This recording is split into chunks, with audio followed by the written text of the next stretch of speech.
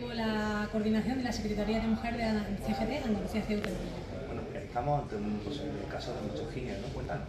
Sí, bueno, pues el caso de, de Encarna lleva, bueno, eh, hace un año que fue el despido y fue cuando, bueno, se, se dio a conocer el caso, etcétera. Ella ya venía sufriendo acoso y una serie de irregularidades dentro de su empresa. Entre ellas, pues, turnos que no eran equitativos al resto de sus compañeros Partimos de que era una plantilla de nueve personas, donde ocho eran hombres y ella solo mujer. Y por ejemplo, en un año solo libró un fin de semana en el mes de mayo, cuando el resto de compañeros libraban, por ejemplo, un fin de semana al mes. Entonces, ella iba viendo y reclamando situaciones que estaba viendo que no eran regulares con, con el resto de sus compañeros.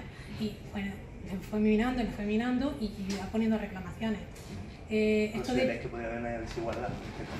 ahí empiezan las desigualdades la empresa pues empieza pues, a, a ponerle foco y ella eh, se hace visible como, como CGT. Antes es verdad que había sido afiliada nuestra, etcétera, pero ella empezó a tomar carta en el asunto porque veía que, es que había un montón de irregularidades en, los temas laborales y quería pues, eh, formar parte del derecho de los trabajadores de las trabajadoras. Eh, en ese momento pues ya empiezan a, como a, estar, a perseguirla de una forma más, más intensa.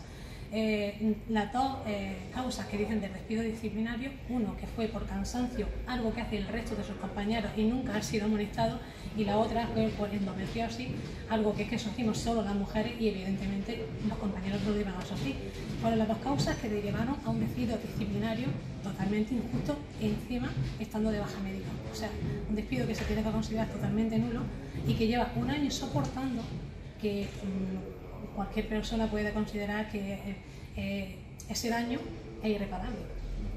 Vale, ese es un, dato importante, ¿no? yo creo que está bien. Pues nada, simplemente tener en cuenta pues, que eh, como una empresa es capaz de saltarse cualquier ley constitucional, derechos fundamentales como es la ley a la discriminación por igualdad de género, pues, por razón de salud, por el tema, cualquier tema, a, simplemente por llevar a cabo su, su, su beneficio propio. Pues,